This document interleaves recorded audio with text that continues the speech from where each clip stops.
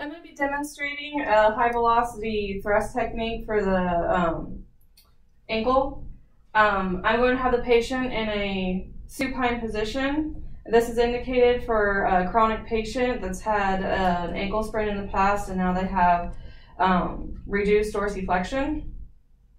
And so I'm going to lace my fingers um, up and around their foot and I'm going to make sure that my fingers go just at the joint line.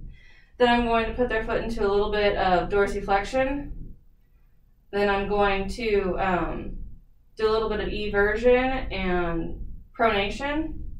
And then I'm going to distract out and I'm going to apply that quick thrust. And this should immediately help to increase their dorsiflexion.